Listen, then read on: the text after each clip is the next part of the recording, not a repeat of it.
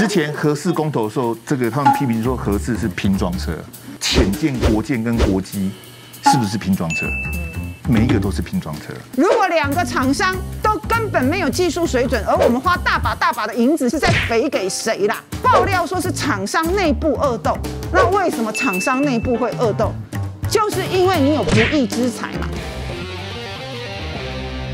每一次都发生这么样子的一个重大意外，而在过去这几年也实在是太频繁了，那凸显出这绝对不是单独的。个案，而是一个结构性的扭曲跟结构性的失衡所造成的悲剧，那就是人祸喽。那到底是什么样结构性的问题呢？那就是非官的培训是不是完全跟不上我们军购的速度呢？所以我们花大把大把的银子，好开心哦，买了很多新型的战机，但问题是这个战机没有人开。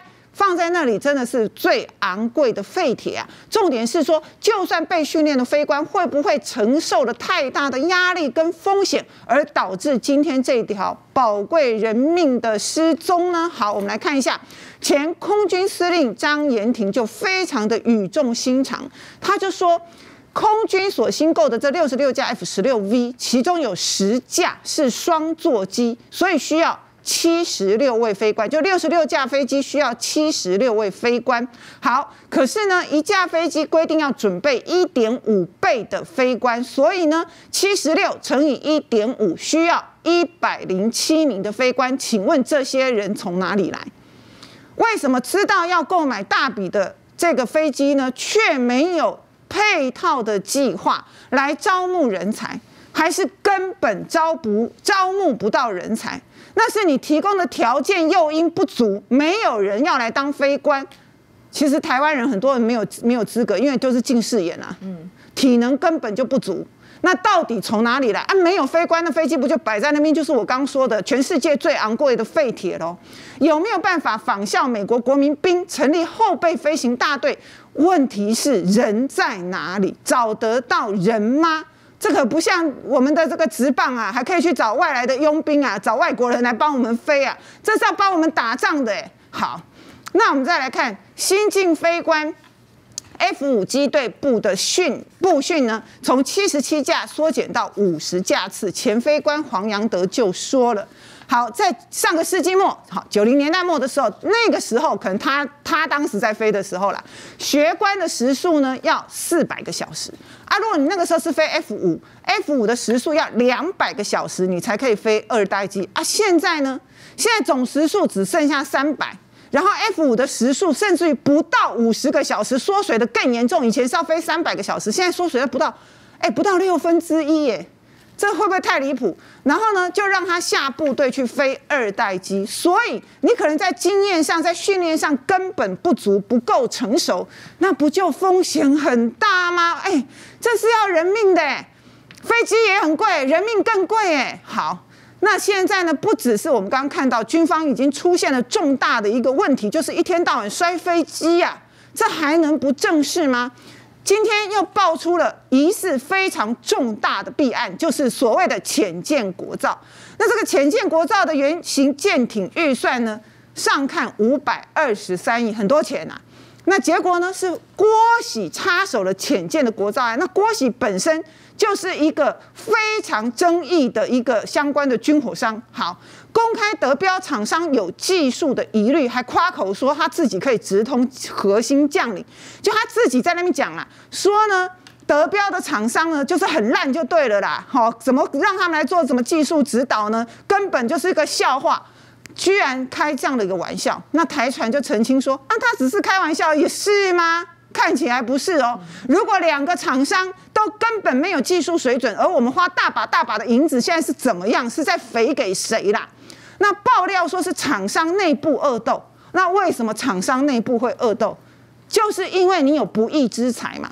当你可以拿到你没有资格拿到的资源跟钱的时候，就会有这种情形发生了。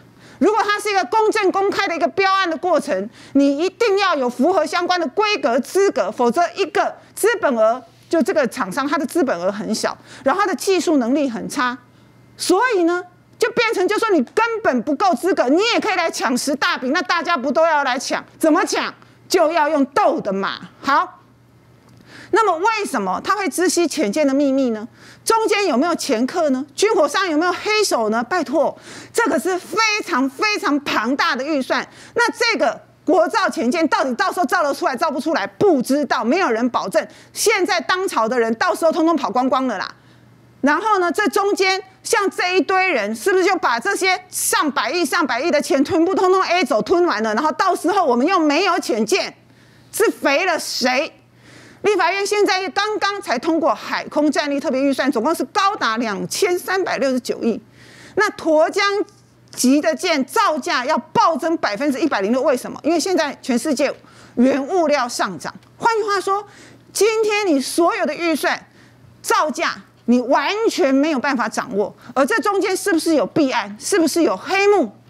结果呢？我们会不会花了几百亿、上千亿，结果还是没有一艘可以派得上用场的国造潜舰呢？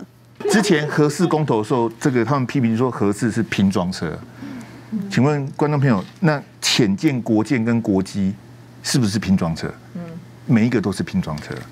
好，所以观众朋友，我讲实话了哈，可能我是最后一集的了哈。以后以后大家都可以来来纪念我哈。浅见国造是假的，国建国造也是假的，国机国造也是假的。你想嘛，我们连捷运的车厢都不会做，怎么可能去做浅见？你你按那想的话，我们的捷运车厢都是买买国外的啊，火车车厢我们也做不出来，很难过哦。你难过什么？我们我们本来就做不出来啊。你去看台铁哪一台是台湾做的？不是不是韩国就是日本的，我们都跟人家买的啊！你说这些浅舰、国舰跟国机就会这样子，所以我跟各位讲啊，我们之前都讲说什么这个好男不当兵，好铁不打钉呐。这个真的很悲哀。我这样讲很抱歉，当然因为还在抢救当中哈。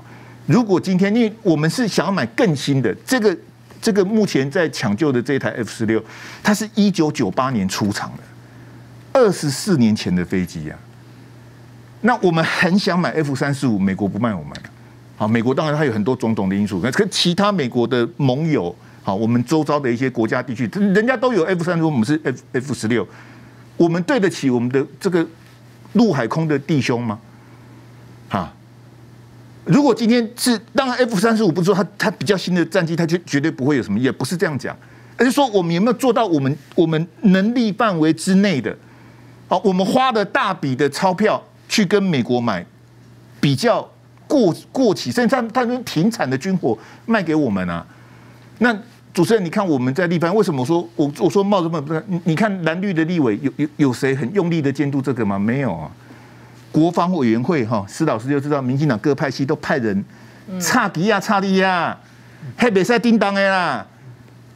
还是还是抽签的吗？你嘛还在恭候的，你是你，你没看每次都是那些人，再怎么选都那些奇怪，什么都是同原班人马，每次都每一届都是每个会期都那些人，就没有那么简单呐。